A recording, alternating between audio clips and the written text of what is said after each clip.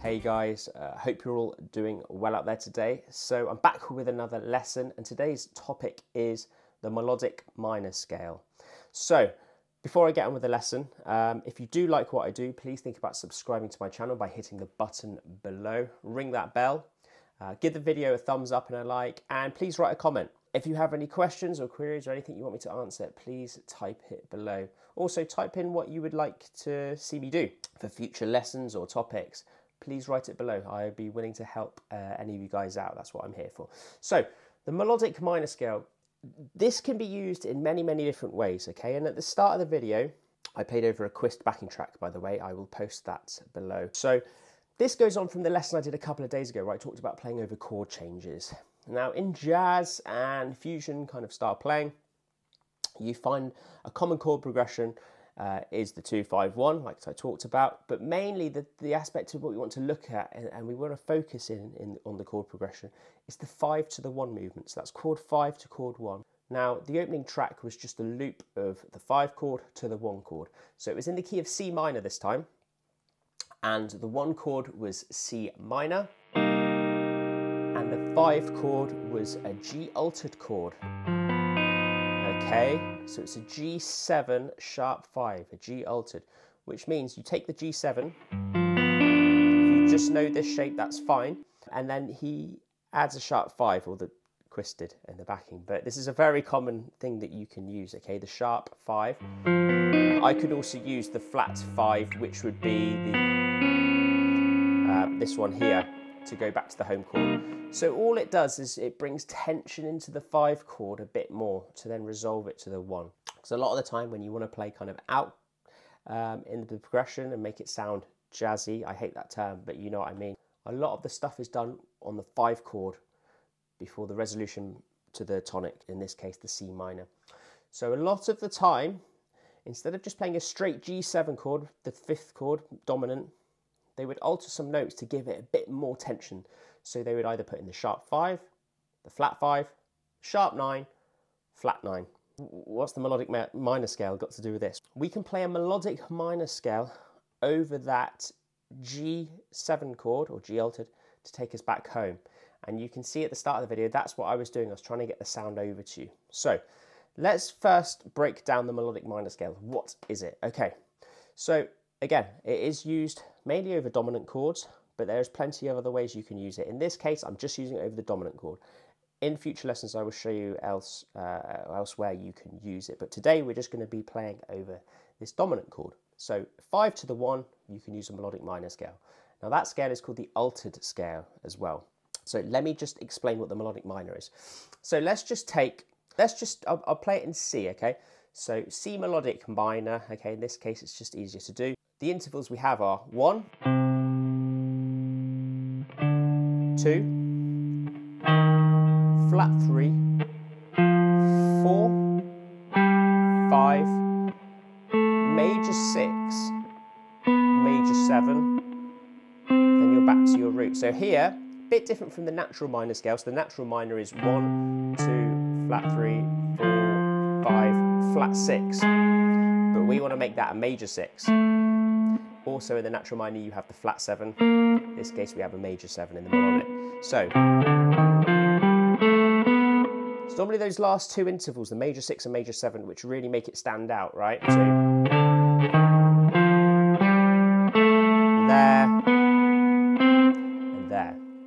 So really get those intervals down uh, and get used to your get them used to your ear and get let your ear get used to them as well. Because when you first play it it can be a bit ooh, out there for some people okay? You just have to acclimatize to it. So where does the melodic minor come in on this? Well we're going to play what we call the altered scale. Now it's the seventh mode of the melodic minor modes. So the reason it is the perfect scale to use over the five chord to bring in tension is because the scale is going to contain all of those altered notes I talked about before the flat 5, the sharp 5, the flat 9, and the sharp 9, okay? So what you do is on this G7, or G altered, doesn't matter. I could just play a straight G7 here, guys. Before it goes to the 1, I'm going to play the altered scale. So the key of this is in C minor, so I'd be playing in C minor pentatonic, C natural minor, I could do C Dorian as well. I could even use C minor, uh, melodic minor actually. Um, but I'll talk about that maybe in another lesson, but you can do that if you do know it, like I just demonstrated in that shape there.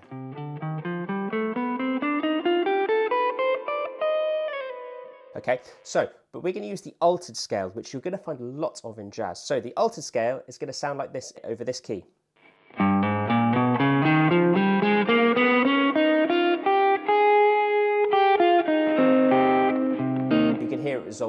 Nicely back to that home chord of C minor. So we're going to play a G altered scale, okay? A good way to think of it, you take your G note, what we're on, move it up one semitone, and play a melodic minor scale. So it'd be a G sharp melodic minor essentially.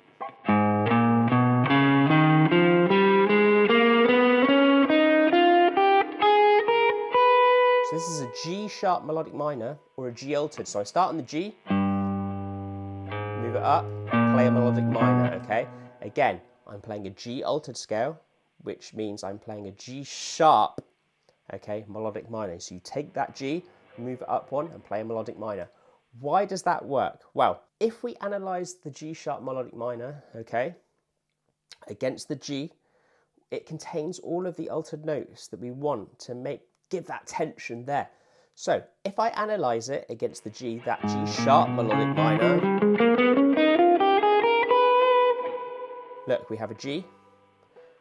So against this G, I'm going to hold my finger here on the G still. You might not see my face, but I'm going to play the melodic minor in my left hand, G sharp, and I'm going to show you the intervals. So we have flat, turn you up a bit so we can hear. So we have a flat nine, sharp nine. That's my third of G now. Flat five, sharp five, flat seven, and then we are back. This is the root and then you're back down to the flat nine there. Okay, so that's why that scale sounds really good. If I unmute the track and just play a bit over it, I'll tell you what I'm doing. So, this would be the C minor 7, G altered. Okay, so this is where I'll play C minor pentatonic, C uh, natural minor, then the G altered scale over this. So you can hear, I'm going to keep to this position first, C minor pentatonic, altered.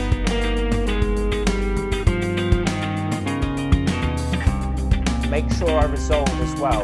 Let me just mute this again. So you have to make sure you resolve. So you can only stay on that scale over that G7 chord or the G altered chord. Okay, so I'm playing C minor pentatonic, into that G altered scale, so G sharp melodic minor. This is where you have to know your positions around the neck, guys. So I'm just looking at this position, so I'll play it all in full. So this is the C minor pentatonic. I'm looking at position four of C minor pentatonic.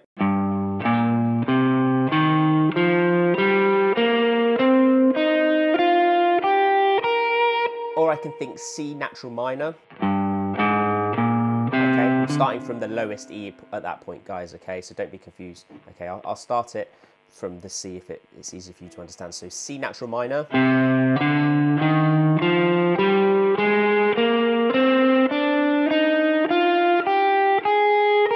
And then I'm going into my G altered scale from there, which would be, so you start the G, slide up, and then the melodic minor scale.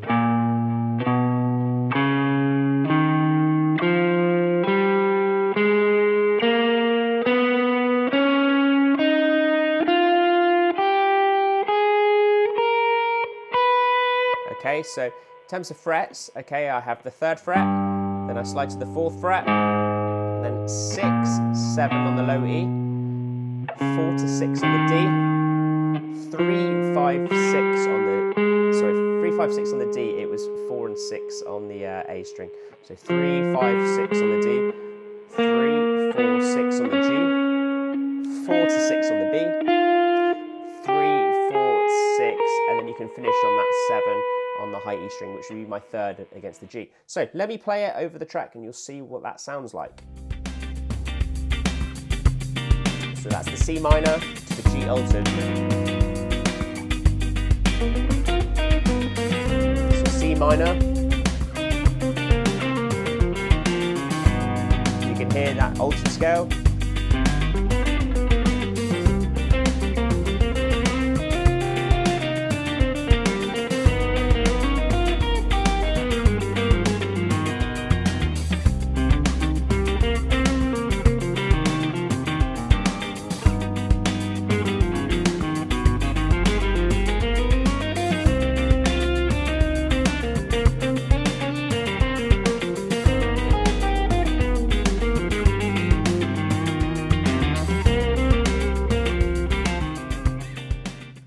Okay, so you can hear that sound of the altered. I'm bringing intention before I resolve back to that C minor. Give that a go, guys. So that's your introduction and your second part, really, to what uh, the video I did a couple days ago about playing over chord changes. We really want to focus in on that five chord, and that is a really good way to start doing it. Learn the altered scale and playing it over the dominant chord before you resolve. So, like I say, take it nice and slow. So, G altered would be G sharp melodic minor. Okay, it's the super called the Superlocrian mode. It's the seventh mode of the melodic minor scale.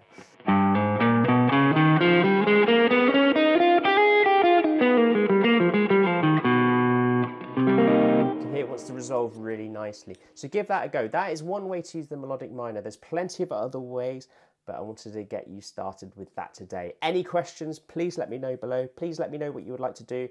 Don't forget to subscribe, like the video, share it, whatever you can do to help out. Thank you guys. I will see you at the next one. Have a good day.